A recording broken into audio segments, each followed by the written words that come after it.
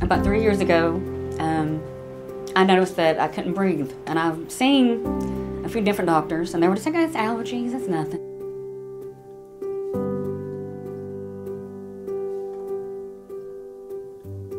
I may not be here next year. You know, I may not. um, we I may not be here.